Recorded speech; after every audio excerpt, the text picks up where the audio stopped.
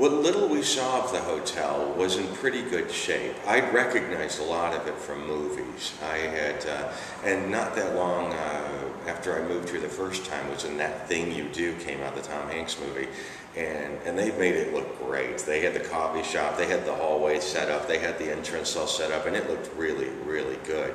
So uh, I don't know how deteriorated it was originally, uh, or not originally, but you know, after after the decades of it sitting there rotting away.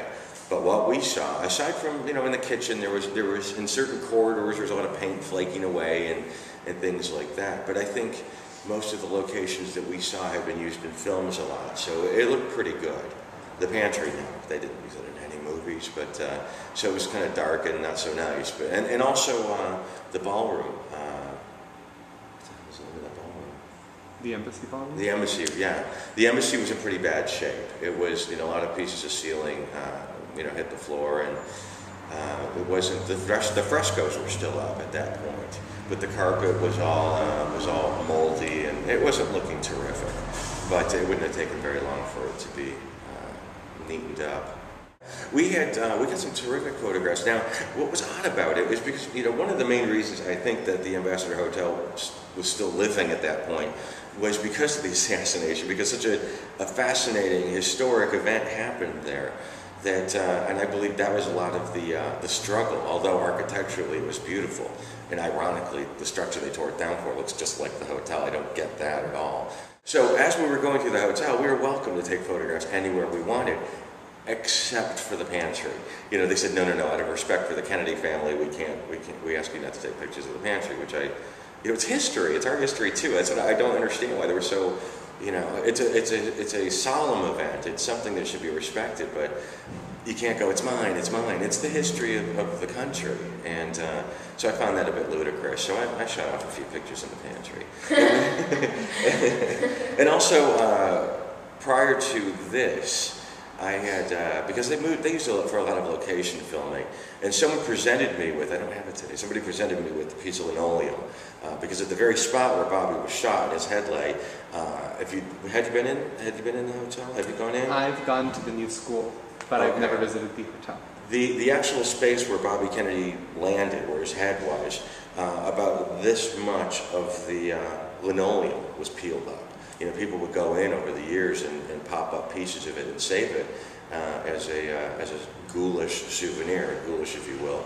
And uh, so I have a piece of that as well. And um, what exactly do you mention um, when you're on your tour?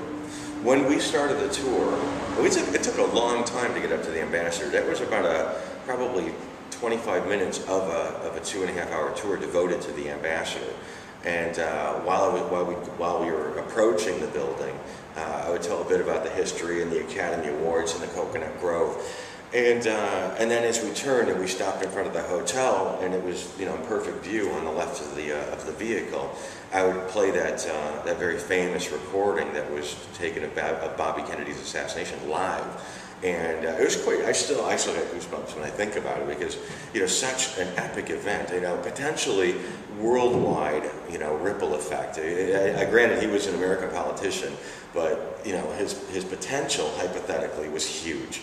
And uh, so it potentially worldwide ramifications. And, uh, and then to just think there in that, in that place, in that building, is where this very recording happened. And it was chilling. It was very chilling to hear people screaming and, and to be right there where it happened. It was, uh, it was a moment, most definitely.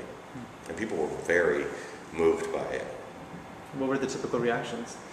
Just silence, you know, and, and I, it's funny, as many times, and this sounds so dramatic, as many times as I've done it, hundreds of times I sat there, I still get goosebumps, and occasionally I get, I get choked up because it was, it was so sad to listen to these people absolutely panicking and not knowing what the hell was going to happen. And knowing the scope of what did happen afterwards, it, it, was really, it was epic. You know, you can, you can go to Paris and you go to that tunnel where Diana died, and that, and that one hole with the dent in it, I think they've covered it up, covered it up since, but when you think about what happened to Diana, everything that happened afterwards. And then you think you could, you look at that post and you see that chunk taken out of that post that's that big, and you think, what happened after that? And everyone in the world went bananas. You know, they were they were setting up you know grieving centers in every country in the world. So I, it wasn't that big, but it was you know, I just say it, it affected the world so deeply, uh, or the country very deeply that it was it's it's profound. I thought, in my way, but that's what it did.